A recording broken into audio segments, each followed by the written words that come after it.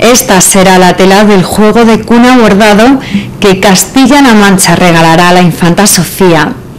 Pepita Alía, una de las artesanas que mantienen viva la tradición del destilado, junto con algunas vecinas de la Gartera, serán las encargadas de realizar el majestuoso regalo. Como se va a hacer con gusto y con cariño, no se va a tardar mucho.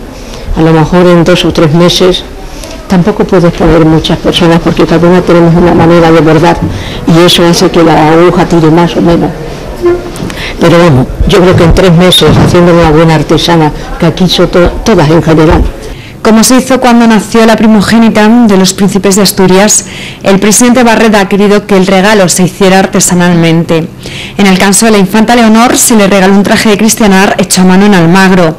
En este caso serán las artesanas de la Gartera quienes bordarán un juego de cuna de cuatro piezas cuya técnica tiene siglos de antigüedad.